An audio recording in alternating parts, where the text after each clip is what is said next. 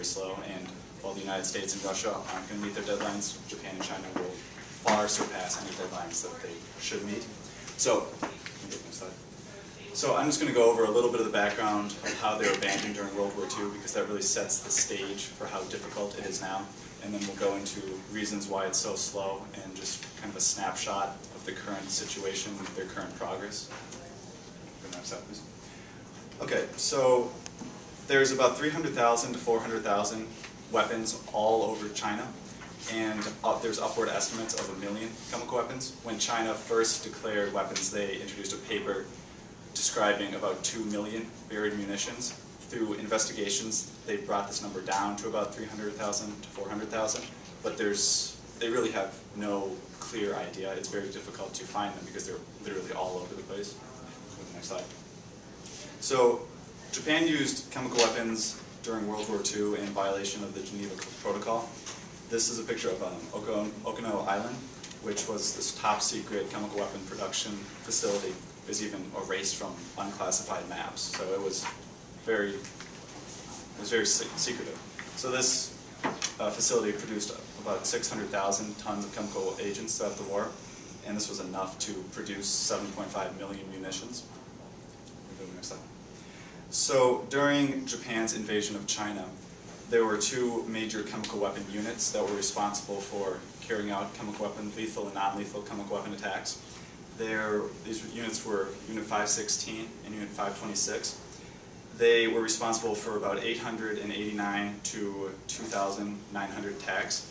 The attacks are very poorly documented, and it was after the war, a lot of the documents were destroyed, and it was covered up to a large degree, so estimates range. Uh, over the course of World War II, Japanese attacks, and again, it's estimate, estimated around 80,000 casualties and about 10,000 fatalities, just the chemical weapon attacks. Uh, so, on the eve of their defeat, basically as the United States was dropping um, nuclear bombs and as Russia was sweeping through China, the pace to destroy and dispose of these weapons was very frantic. So Unit 516 and 526, they got rid of these weapons really any way they could. Um, Unit 516, for example, threw weapons off a bridge into the Neijing River, and Unit 526 just dug pits all over China and just buried them. So they totally covered them up. When Allied forces came through China, there were no chemical weapons found, so they did a pretty good job of hiding these. There's been a wide variety of attack or um, incidences, but one that is a very good representation is in 2003 during a construction project, they unearthed some chemical weapons and they hit the um, bulk containers. So there was an exposure of mustard gas and sulfur, and a lot of the workers were injured, um, and over 40 school children surround, in the surrounding area were injured. So that was a major deal, and that was it put a lot of pressure on Japan to finish destroying its weapons. So, sorry, go back one. So for responsibility, Japan accepted responsibility for chemical weapons under the Chemical Weapons Convention, but since there's very loose guidelines under the CWC, they're only required to enter into negotiations with Japan to destroy weapons. So Japan didn't accept full technical and financial responsibility for these weapons until 1999. The whole process is extremely complex because there's these weapons are all over the place. They're in really awful condition. So they're literally scattered all throughout the country. The the large majority of them, about 90% of the munitions are in air in Haerbaling, which you can see up right there. And then there's another very large deposit in Nanjing. But they don't they don't have a good grasp on where all the locations are. After World War II, uh, China and Japan worked to investigate where these weapons might be, so there weren't any other um, incidences after construction. So they interviewed World War II veterans. They really tried to survey areas, and they tried to get as good of a grasp as they can, but they're still discovering weapons as we go. So they're in really random places. This is a site from um, Gangzhou River, and just to find them, each of those flags represents a metal point, so they had to go through with metal detectors, and those just represent hits, so they have to go and check each of those sites, and that's just one site. That's a simple one to destroy. Um, and most of these weapons are in extremely remote locations, especially in Haerbaling. Haerbaling is prone to very severe weather conditions, and as a result, they can't they couldn't do construction for a long time, and they couldn't even reach these locations. They had to build infrastructure, basic infrastructure like roads. The road to the main weapon site in Haerbaling wasn't completed in 2003, and the weather conditions make it difficult to complete work five months out of the year. So, because they, they have to dig and they have to excavate and the ground is frozen, so they have difficulty there. The characteristics of chemical weapons makes them complicated to destroy. The, they've been underwater and they've been underground for decades. Unlike stockpiled weapons, which are in pretty controlled environments, these chemical weapons are leaking, they're damaged, you have people coming through and trying to lift them manually out of the ground, so there's a lot of accidents from that. Furthermore, there's um, picric acid in these weapons, and over the years it can form picrate, which is highly explosive, so when they're handling these or trying to destroy them, they have a good chance of ex just exploding. And when these weapons are neutralized, there's a good chance of them releasing arsenic, so all the gases have to be captured from any destruction efforts, so they really have to be careful with everything they do. It took them a long time just to figure out the, to figure out the technologies to destroy it. Because it's so complicated, they had to research over 30 different technologies to choose incineration.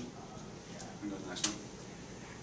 Besides for just the technical and logistical problems, there's a myriad of other just surrounding problems with the project.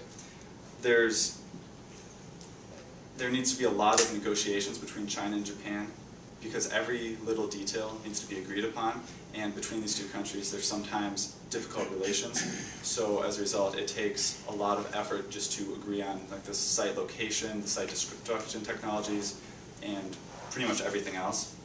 There's also a scandal in 2007 with a Japanese company destroying chemical weapons when they siphoned off a million dollars of public funds and that delayed production and or, um, destruction facility building, and it really angered um, the Chinese side because weapon destruction had not started. So they were seeing this as Japan trying to skirt their responsibilities, even though it wasn't a Japanese, it was a Japanese company, but it wasn't directly linked to the government.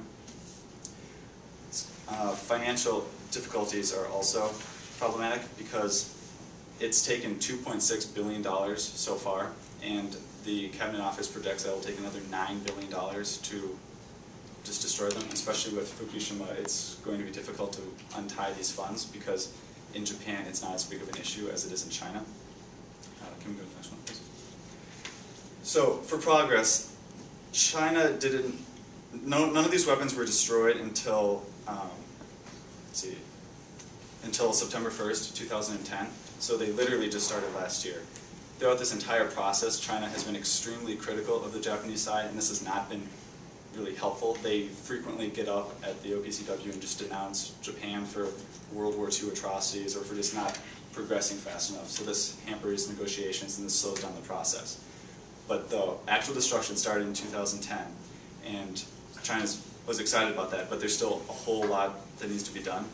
Since there's 300,000 to 400,000 weapons that they know about, there's only been um, 4,000 chemical weapons destroyed, and that's between just that's just in one month, October to November. They use a mobile destruction unit, and that's what's pictured here. So since these weapons are so scattered around, they have to transport. They can't transport the weapons to a site. They have to bring the destruction to the weapons. So Kobe Steel and Kawasaki Heavy Industry won the bid for the contract, and they take care of the mobile destruction units. There's um, 36,000 chemical weapons in Nanjing, and they um, suspect that the mobile destruction unit will be able to destroy all of those within a year. The main problem comes down to the second leg of it, which is in Haerbaling. next. So, uh, as you can see here, it's a pretty vacant rural area, so it's tough to get anything done there. But they have excavated 46,000 in Haerbaling out of 300,000 to 400,000 weapons. And they estimate that you can only do 10,000 a year. So you have hundreds of thousands of weapons that are less left to be excavated, and even if you have them all excavated, it will take 10,000 or 10,000 a year. So best estimates take about 10 years, and it could take anywhere from 30 years to get these weapons done. And they're still finding weapons all throughout the country. So the really problem is excavating and finding these weapons. Once they get those done, they can use the mobile destruction units, but the whole process is extremely complicated, very slow, They missed their 2007 deadline to the Chemical Weapons Convention, and there's no way they will make the 2012 Chemical Weapon deadline.